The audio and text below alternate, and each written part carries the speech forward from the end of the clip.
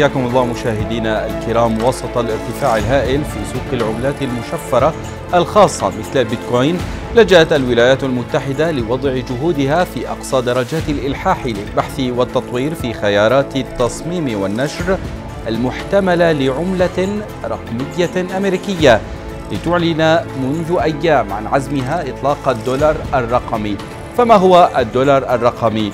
وما هي ميزاته وهل سينافس في سوق العملات؟ نتابع هذا التقرير ثم نبدأ الحوار. تعتزم الولايات المتحدة إطلاق الدولار الرقمي أو الدولار الإلكتروني الذي سيكون العملة الرقمية المركزية للدولار الأمريكي والذي ستتم إدارته من قبل الحكومة. يأتي ذلك بعد إعلان البيت الأبيض أن الرئيس الأمريكي جو بايدن سيطلق في وقت لاحق مشروع دولار رقمي في إطار جهود واسعة النطاق لفرض ضوابط على قطاع العملات المشفرة. رئيس البنك الاحتياطي الفيدرالي ديفيد أندولفاتو قال إن الدولار الرقمي Fedcoin سيسمح بإجراء معاملات مالية من دون الحاجة إلى فتح حساب مصرفي، موضحا أن الدولار الرقمي سيعمل من خلال استخدام تطبيق على الهاتف المحمول. ويمكن تعريف الدولار الرقمي على أنه عملة رقمية مركزية للدولار الأمريكي تتجه الولايات المتحدة لإصدارها مع توسع المدفوعات الإلكترونية الفورية بين الأفراد والشركات دون الحاجة للوساطة والدور الذي تقوم به البنوك ويتميز الدولار الرقمي في تدني مستوى تقلب أسعاره نظرا لأن قيمته تساوي واحد دولار فضلا عن تميزه بالفعالية المتمثلة في تخزين المعلومات اللازمة لإجراء اي عملية تجارية في محفظة رقمية حيث تشفر هذه المعلومات عن الدفع في الرمز نفسه عند الدفع. كما يتميز الدولار الرقمي بالعالمية وسهولة الوصول إذ يمكن استخدامه عبر الحدود في العمليات التجارية المحلية. وأرحب بضيفي السيد سعود الرحبي مستشار ومحلل أسواق مالية. حياك الله سيد سعود. أهلا فيك سيد عبادة. تحياتي إلى كل السادة المشاهدين. في البداية ما هو الدولار الرقمي؟ سيد عبادة نحن في عندنا بالأسواق نوعين الدولار الرقمي آه، الدولار الرقمي المستخدم على منصات تداول العملات الرقمية أو حتى منصات استثمار العملات الرقمية والدولار الرقمي اللي مطروح الآن بالنظام المالي العالمي المتعلق بالولايات المتحدة الأمريكية وبالفدرالي الأمريكي. الدولار الرقمي اللي تحدث عنه تقريركم آه، هو عملة مركزية تابعة للولايات المتحدة الأمريكية صادرة عن الفدرالي الأمريكي الغاية منها مواكبة عصر العملات الرقمية بالإضافة لتقنين العملات الرقمية. أما الدولار الرقمي أو ما يعرف بال USDT الموجود على منصات تداول العملات الرقمية فالغاية منه هو تثبيت قيمة العملة الرقمية للأشخاص وتسهيل البيع والشراء للعملة الرقمية.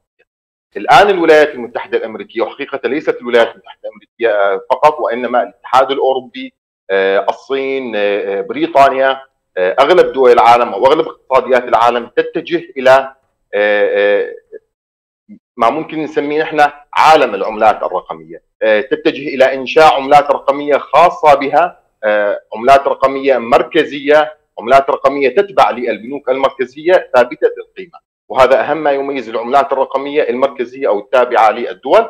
الولايات المتحدة الأمريكية فعليا هي بصدد تجهيز القوانين والتشريعات اللازمة نعم. لنشرح ببساطة يعني ما هي الفروق ما بين أه، الدولار الذي هو ربما أنا لا ألمسه بيدي لدي حساب في البنك عبارة عن دولارات هي إلكترونية الآن الدولار الرقمي ما ما هي الميزات له؟ الدولار الرقمي هو يشبه من حيث القيمة الدولار الأمريكي المتعارف عليه، الدولار اللي نحن ممكن نلمسه بالإيد الدولار الرقمي يشبه الدولار التقليدي من حيث القيمة. آه، لكن الفرق إنه الدولار الرقمي هو عبارة عن أرقام آه، آه، يتم التعامل مع الدولار الرقمي التحويل سحب أو إيداع عن طريق تطبيق هذا التطبيق يكون صادر من الولايات المتحدة الأمريكية وتحديدا من المؤسسة النقدية التابعة للفدرالي الأمريكي. فالمتداولين أو أو ممكن نقول المستخدمين والمتعاملين للدولار الرقمي آه، آه، سيكون عندهم مجرد أرقام. يتم تحويل هذا الرقم من محفظتهم الشخصية إلى هل هل سيعتمد على البلوك تشين؟ القيمة واحدة القيمة واحدة. لا لن يعتمد على البلوك تشين لن يعتمد على البلوك تشين نظام البلوك تشين هذا النظام خاص بالعملات الرقمية هو نظام لا مركزي يعتمد على إنه نظام مفتوح. يعني أنت أنا أو أي حدا يمتلك عملات رقمية فيه يشوف عمليات التحويل وين اتجهت؟ ومنين اتجهت؟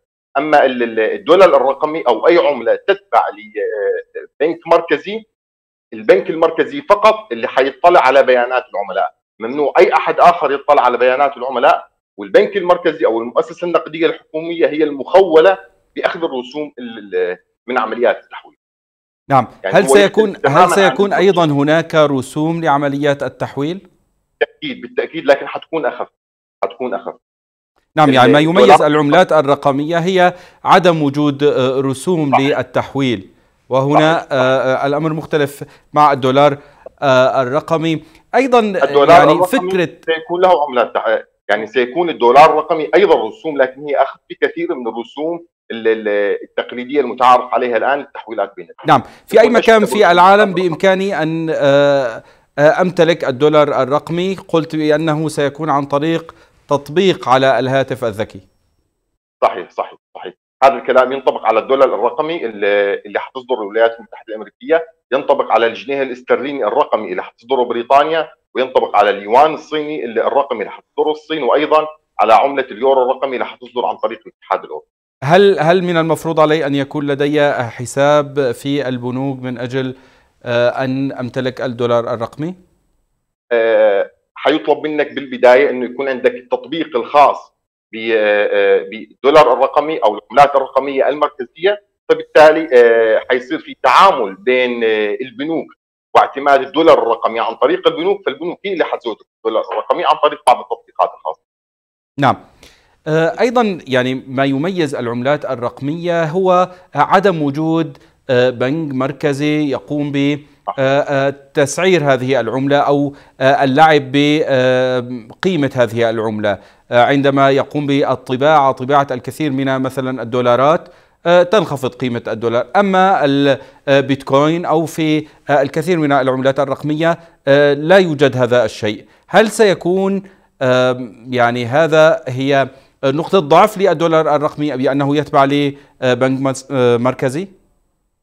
لا هي حتكون نقطة قوة للدولار الرقمي ما يميز العملات الرقمية المركزية أو التابعة للمؤسسات النقدية الحكومية أنها عملات رقمية ثابتة هي غير خاضعة للتداول. بمعنى الدولار الرقمي تم إنشاؤه لمواكبة عصر العملات الرقمية وتم إنشاؤه لضبط أسعار العملات الرقمية. بمعنى هو غير خاضع للتداول هو ما حيكون في عرض وطلب كثير مثل ما يحدث أمام مثل ما يحدث مع البيتكوين لن تكون المضاربة على قيمة لا لا. العملة تقصد. بالضبط بالضبط حتكون المضاربة محدودة نوعا ما لأنه هو مصمم لحتى يكون مستقر وليس مصمم لحتى يكون يخضع للعرض والطلب بشكل كبير ونجد فيه تذبذبات اللي نجدها الآن في سوق العملات الرقمية المتعارف عليه البيتكوين والاثيريوم وغيره. نعم. فهو مسيطر عليه. كما قلنا بأن باقي العملات الرقمية وخاصة البيتكوين ما يميزه وما يرفع قيمته بأنه لا يخضع لسلطة البنك المركزي. هل سينافس الدولار الرقمي البيتكوين؟ أم أنه سينافس باقي العملات الرقمية كما قلت الجنيه الاسترليني الرقمي أو اليوان الصيني الرقمي؟ لا فعليا أنا أعتقد شخصيا الدولار الرقمي أو أو أي عملة رقمية تتبع لمؤسسات نقدية حكومية لن تنافس العملات الرقمية الحالية. السبب بسيط مجال عمل العملات الرقمية الحالية أو تداولاتها تختلف تماما عن مجال وتداول العملات الرقمية المزمع طرحها العملات الرقمية هي مخصصة للمدفوعات عم بحكي عن العملات الرقمية اللي اللي حيتم إصدارها. العملات الرقمية اللي, اللي بنعرفها نحن البيتكوين وغيره هي أيضا مخصصة للمدفوعات لكن هي فعليا مخصصة للاستثمار وللأرباح والمضاربات القوية. تمام؟ نعم. بينما العملات الرقمية المزمع إصدارها المركزية هي خاصة فقط بالمدفوعات تمام؟ لذلك بالتأكيد سيتم المحافظة على استقرار سعر الصرف. نعم. هل هناك مخاوف من التهكير أو المشاكل التقنية لهذه العملات الرقمية. أسمع منك الإجابة لكن بعد الفاصل مشاهدينا الكرام أرجو أن تبقوا معنا.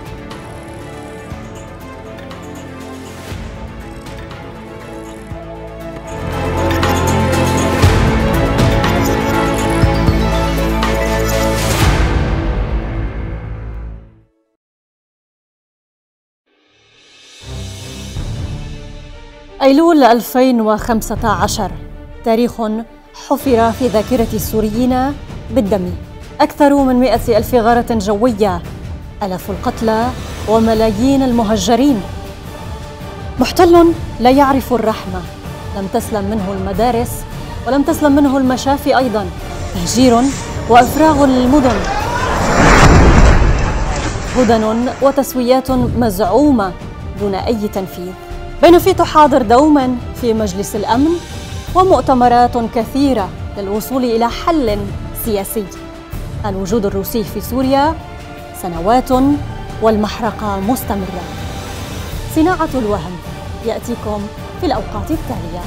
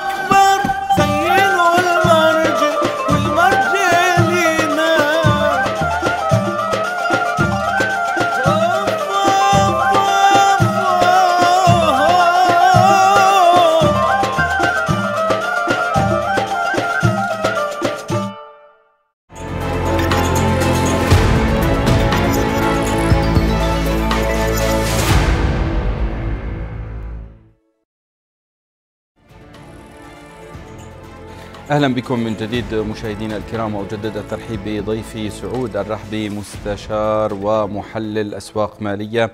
آه، سيد سعود كنت قد سألتك قبل الفاصل هل هناك مخاوف من آه، عمليات القرصنة وأيضا آه، مشكلة انتهاك الخصوصية لدى المستثمرين في الدولار الرقمي؟ سيدي الكريم موضوع تهكير الدولار الرقمي أو محافظة الدولار الرقمي أعتقد إنه هو موضوع صعب جدا ويكاد يكون مستحيل.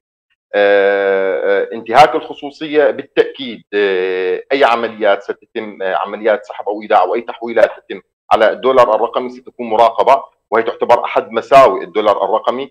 هذا ما لا نجده فعليا عند العملات الرقمية اللامركزيه لأنه أنت تلقائيا أي عملية تحويل سحب وايداع على الدولار الرقمي ستكون البيانات كاملة أمام البنوك المركزية. كاملة وهي تعتبر أحد المساوئ. التهكير آه، يكاد يكون شبه مستحيل.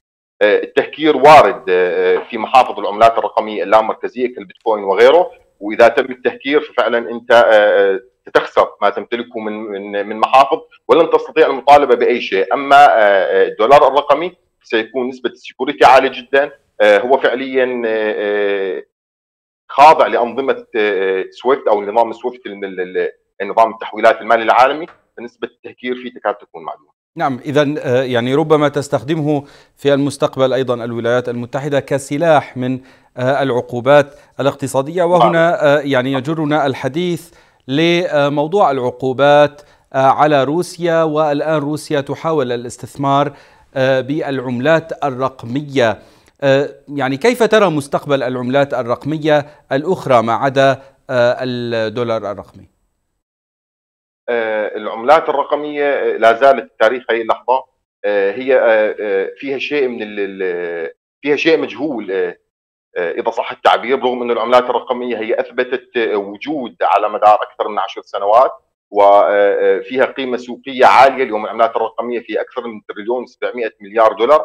وصلت قيمة السوقية لما يقارب لل 2.5 تريليون دولار. هذا رقم كبير جدا. لكن تبقى العملات الرقمية هي عملات مجهولة. هي عملات غير خاضعة لسلطه لسلطه رقابية أو لمؤسسه حكومية ممكن تضمن أو تكفل قوة هي العملات الرقمية لكن هي شيء أثبت وجوده على أرض الواقع ولا زال موجود لتاريخ هي نعم يعني آه كلامك قد يثير المخاوف لدى المستثمرين في آه العملات الرقمية. آه صحيح. ما هو الجانب المجهول؟ هل آه تنصح بالاستثمار في العملات الرقمية أم لا؟ الآن في كثر مستثمرين بالعملات الرقمية. سبب استثمار الكثر بالعملات الرقمية هو إنه هي شيء أثبت وجوده وشيء له سيولة مالية وسيولة مالية قوية وله قيمه سوقيه قوية. لكن المتخوفين من العملات الرقمية تتركز مخاوفهم في شيء رئيسي إنه العملات الرقمية لا صاحب لها العملات الرقمية ما في أي جهة حكومية تسندها العملات الرقمية ما في أي قانون أو أنظمة عالمية تشرع العملات الرقمية. تمام أو تساند العملات الرقمية. لذلك نحن نلاحظ كل ما كان في تبني للعملات الرقمية من قبل بعض البنوك العالمييه أو بعض المؤسسات النقدية أو المالية في العالم كل ما تم اكتساب قوة أكثر للعملات الرقمية. نحن لاحظنا نعم. إنه اذا من أين الماضي نعم اذا من أين تستمد قوتها العملات الرقمية؟ كما قلت بأن معظمها ما عدا طبعا الدولار والجنيه واليوان الرقمي. معظمها لا يستند لمصرف مركزي أو دولة تضمن قيمتها. اذا كيف تفسر بقاء هذه العملات وتحصيلها مكاسب لم تكن في الحسبان؟ العملات الرقمية فعليا بدأت تستمد قوة من بعد تقريبا من أكثر من خمس سنوات. بدأت تستمد القوة الحقيقية اللي نحن بنشوفها خمس أو ست سنوات. بداية قوة العملات الرقمية كانت من الأشخاص المتبنين لهي الأفكار اللي البعض كان يسميها أفكار مجنونة أو يعتبرها أفكار مجنونة. المضاربة على على العملات الرقمية هي هي اللي أعطتها بعض القوة.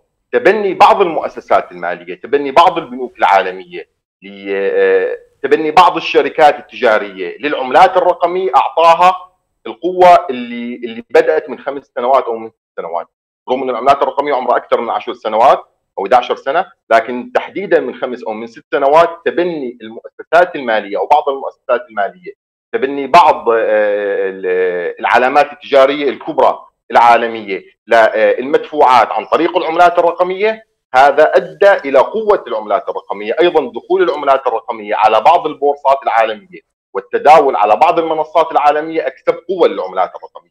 فعليا قام أشخاص ورجال أعمال ومستثمرين بتبني العملات الرقمية هو اللي أعطاها هي القوة الموجودة الآن. نعم الآن هذه هذه نقطة القوة. هل تتوقع أن تسحب الدولار الرقمي و باقي العملات الرقمية التي تخضع لسلطة بنك مركزي؟ هل تتوقع أن تسحب البساط من تلك العملات؟ وربما قد نشهد انهيارات للعملات الرقمية التقليدية.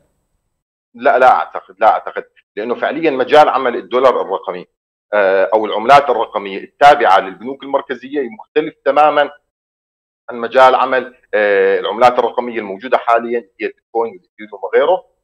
البيتكوين والاثيريوم وأخواته هم عملات صمموا للاستثمار وللمضاربة بالإضافة للمدفوعات بينما العملات الرقمية اللي حتكون تابعة للبنوك المركزية هي عملات صممت للاستقرار ولمواكبة عصر العملات الرقمية، يعني ما فيك أنت تستثمر بالدولار الرقمي لأنك تتوقع إنه حيرتفع من دولار لل ألف دولار، هذا الكلام ما حيكون موجود، ما فيك تستثمر بالجنيه الاسترليني لأنك تتوقع إنه حيرتفع من واحد ونص جنيه استرليني للمليون جنيه استرليني. هذا الكلام ما حيكون موجود.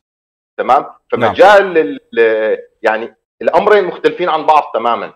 مختلفين عن بعض تماما. فينا نلخص نقول نحن إنه العملات الرقمية التابعة للبنوك المركزية أو للمؤسسات المالية الحكومية هي جاءت مواكبة لعالم العملات الرقمية نعم لكن, لكن أنت قلت بأن. آه، القوة التي استمدتها القوة العملات الرقمية آه، البيتكوين وأخواتها هي من تبنيها من قبل مستثمرين وأيضا دخولها في عالم قبولها في السوق من يعني الشراء والبيع يمكن أن يتم من خلالها. البيع والشراء الآن الدولار الرقمي وأخواته قد يحل محل محلها. لا لكن لكن في في أساس أو في هيكلية العملات الرقمية اللي حيتم تنفيذها أو اللي حيتم انشاء العملات الرقمية التابعة للبنوك المركزية لا يوجد مضاربات قوية. ولا والانشاء قائم على على مبدأ استقرار سعر الصرف وليس عدم استقرار سعر الصرف. بينما العملات الرقمية كالبيتكوين وغيرها وهذا ما يجهله الكثيرين العملات الرقمية الآن تعامل كأصول مالية هي أشبه بالأسهم. هي تحديدا أشبه بالأسهم. لذلك نحن ممكن نرى الأسهم الأمريكية تمام أو الأسهم الأوروبية أو أو أي أسهم مدرجة آه، في أي بورصة آه، سهم يبدأ بسعر 2 أو 3 دولار وينتهي بسعر 1000 أو 2000 دولار. لكن مستحيل نلقى إنه اليورو يبدأ بسعر 1 آه، دولار وينتهي بسعر 100 دولار. هذا الكلام مستحيل. لكن الاسهم ممكن نلقى هذا الكلام. العملات الرقمية حاليا أو اللي هي البيتكوين وما شابه البيتكوين تعامل كأصول مالية مثل مثل الأسهم. مثلها نعم. مثل ولا تعامل كعملات. نحن نطلق عليها مجازا عملات رقمية. أما هي الآن تعامل كأصول مالية تشبه إلى حد كبير الاسهم بينما العملات الرقمية هي تشبه تماما العملات التقليدية وإنما لن تكون ورقية فقط ستكون مجرد أرقام فبالتالي سينطبق عليها ما ينطبق على العملات التقليدية من حيث استقرار سعر الصرف ضمان سعر الصرف تمام وضمان عدم التقلبات العالية. نعم. آه الآن قلت بأن آه من أي مكان في العالم في حال امتلاكي للتطبيق بإمكاني أن أمتلك الدولار الرقمي. ألا آه يمكن أن يشكل ذلك ضرر ل آه، الكثير من البلدان التي ربما لا تستطيع إدارة احتياطياتها النقدية. صحيح آه، هذا الأمر قد يشكل خطر على كثير من البلدان. لذلك نحن نعتقد أنه خلال الفترة القادمة الكثير من البلدان وتحديدا مجموعة العشرين آه، آه، سيتتجه أغلب مجموعة العشرين إلى آه، إنشاء العملات الرقمية الخاصة بها لمواكبة إنشاء الولايات المتحدة أو الاتحاد الأوروبي العملات الرقمية الخاصة بهم لحتى يصير التعامل كله ضمن نطاق العملات الرقمية وتدريجيا راح يلتغي التعامل بالعملات الورقية لكن أعتقد هذا الموضوع لن يكون بسنة أو سنتين ممكن آه، نلقاه خلال 10 أو 15 أو 20 سنة القادمة إن شاء الله. نعم آه هذا عن آه، دول العشرين لكن ماذا عن بقية الدول؟ وهي آه الأكثر هشاشة. تتواكبها بالتأكيد تتواكبها. لكن تحديدا دول العشرين آه، آه، من باب السيطرة على على نظام المدفوعات ستكون هي القادمة أو ستكون هي الخطوة القادمة لها هو مواكبة الدولار الرقمي نعم. آه، هناك من يقول بأن آه، الدولار الرقمي هو جاء من أجل آه، أن يستعيد وأن يكرس الدولار تربعه على عرش العملات. هل ترى ذلك أنه بالفعل سوف يعطي حياة أطول للدولار الرقمي؟ الدولار بشكل عام وسيطرة الاقتصاد الأمريكي على الاقتصاد العالمي. صحيح. هذا أمر صحيح. آه، الولايات المتحدة الأمريكية بصفتها هي أكبر اقتصاد عالمي بصفة الدولار العالمية المسيطرة. آه، كونه هو المسيطر بالمدفوعات التجارية بين الدول. آه، فبالتأكيد أحد أسباب إصدار الدولار الرقمي هو الخشية من إنه يتم تحول النظام المالي العالمي إلى العملات الرقمية في غفلة من الاقتصاد الأمريكي. لكن في أمر مهم لازم نلفت النظر له تفضل. ألا وهو العملات الرقمية حاليا لا مركزيه اللي هي البيتكوين وما شابهها المؤسسات المالية اللي تبنت العملات الرقمية أو الشركات التجارية اللي تبنت هذه العملات الرقمية والمدفوعات بالعملات الرقمية كانت أغلبها شركات أمريكية.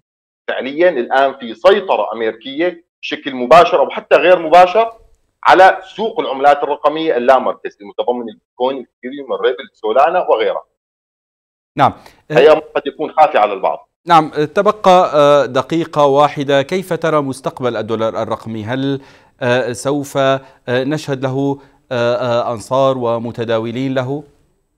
إذا تم إقرار الدولار الرقمي وتنفيذه من قبل الإحتياط الفدرالي الأمريكي فبالتأكيد سنتعامل به كلياتنا دون استثناء إذا تم التنفيذ طبعا. أما إذا تم إذا لم يتم التنفيذ راح تكون مجرد أفكار لا أكثر ولا أقل. لكن أعتقد أنه نحن في طور التنفيذ. نعم. أشكرك جزيل الشكر السيد سعود. الرحبي مستشار ومحلل أسواق مالية. معلومات قيمة وأشكركم. سادتي المشاهدين على طيب المتابعة. هذه هذا محدثكم عبادة حيدري. دمتم بخير وإلى اللقاء.